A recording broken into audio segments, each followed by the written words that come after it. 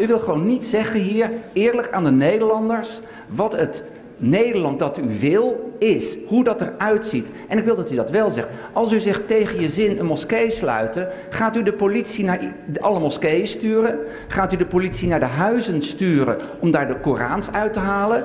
Zo niet, dan is het gewoon een farce wat u zegt van sluit de moskeeën en de, de Korans weg. Als u het wel doet, dan is dat het eerlijke verhaal van uw Nederland. Maar ik zeg tegen al die Nederlanders die denken dat het verhaal van Geert Wilders zo mooi is. In dat verhaal, waar de politie, in dat land waar de politie daarvoor ingezet wordt, wil je niet wonen.